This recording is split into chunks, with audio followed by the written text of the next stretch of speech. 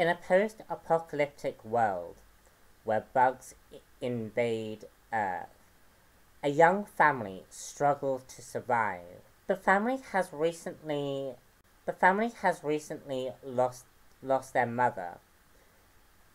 As it's revealed that the family's mother was a member of the Nova Corps who joined their ranks in order to defend Earth.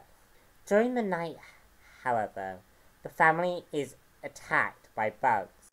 Anwen, one of the daughters of this family, is separated during the attack, only to be mysteriously saved by her own mother. The family appears to be unaware that another being is watching them, and this being is Thanos. And now, it, now this book isn't actually based off um, the Infinity Gauntlet um, storyline. It's actually based off it's it's own unique thing. Again, like I said with 29.9, this book doesn't appear to be an actual um, place in Battle World. It's it appears to be its own unique thing. I'm not sure where Infinity Gauntlet is going to fit in with relation to the actual tie-in event.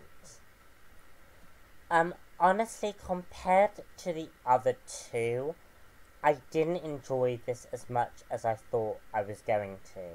As I mentioned, there is little to no crossover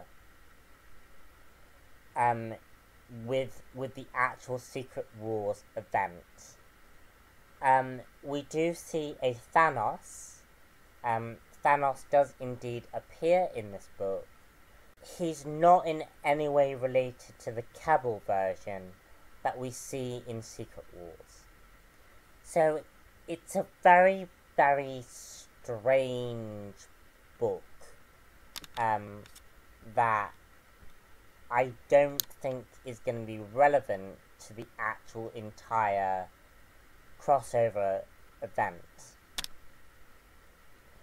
Um, but what I did find interesting was this.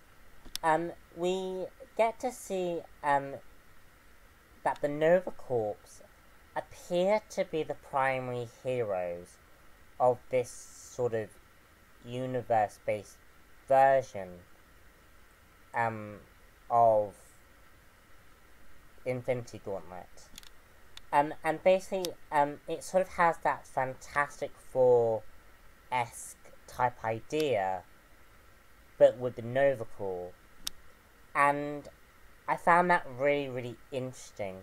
We also get a couple um, of appearances from the Infinity Stones. And what's interesting with the Infinity Stones is that um, I think the Infinity Stones are, are actually going to be used by some of the, by this Nova Corps family. So I found that just very, very interesting. Um, and I'm definitely interested in, um, in seeing how this book progresses. But in terms of actually picking the book up, I don't think I would recommend it. I would actually wait and get this in trade. Um, I would really, really encourage you guys to do that. Um, compared to the rest.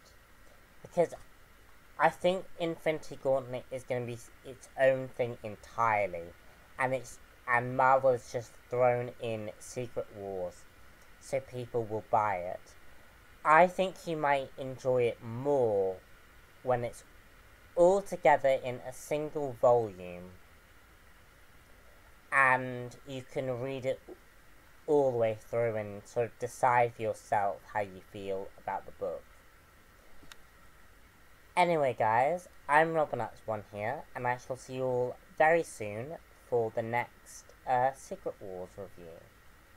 Bye.